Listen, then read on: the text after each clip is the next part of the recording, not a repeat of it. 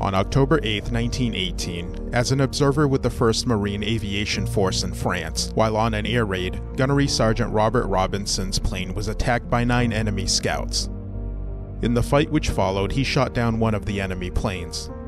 In a later air raid over Belgium on October 14, 1918, his plane and one other became separated from their formation due to motor trouble and were attacked by 12 enemy scouts. Acting with conspicuous gallantry and intrepidity in the fight which ensued, Gunnery Sergeant Robinson, after shooting down one of the enemy planes, was struck by a bullet which destroyed most of his elbow. At the same time, his gun jammed. While his pilot maneuvered for position, he cleared the jam with one hand and returned to the fight.